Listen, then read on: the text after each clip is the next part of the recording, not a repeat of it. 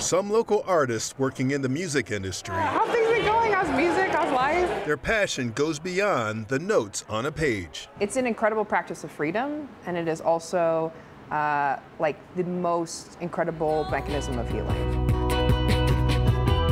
Michelle Rocqet has been in a Denver band for the past 10 years I am in a band called the Milk Blossoms, and I am beatboxing and singing. and says sometimes it's been difficult performing as an artist of color. That starts to wear at you over time, and so it's really difficult being an artist of color to to sort of see how your your life is perceived by others. She says it was part of the reason why she went into recovery for alcohol and substance abuse. I've been a sober artist for my entire 20s and now into my 30s, and I've noticed how much the music industry is centered around drinking or drugs and substances. I lost my brother to a, a drug overdose in 2015. So the first time that we're doing that is actually this Saturday. This weekend, Rocqet will be talking about her experiences with other artists at the Underground Music Showcase, We know. a music festival that has a different focus this year with a new collaboration.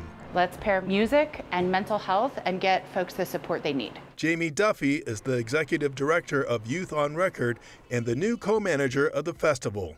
She says they saw the partnership as an opportunity to address mental and sobriety care for their artists. The last two years have been brutal for a lot of folks. And so our focus at the festival on mental health really came from our community, saying we need support, we need resources. Yeah, it's been insanely difficult for all of us in the entertainment and music industry. Casey Berry is the co owner of the music festival